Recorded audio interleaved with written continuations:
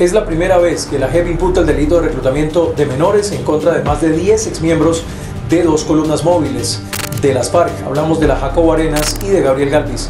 En este caso se investiga no solamente el reclutamiento forzado de menores, que es un delito además atroz, sino también el desplazamiento forzado al que sometieron a la población inocente en Colombia durante muchos años.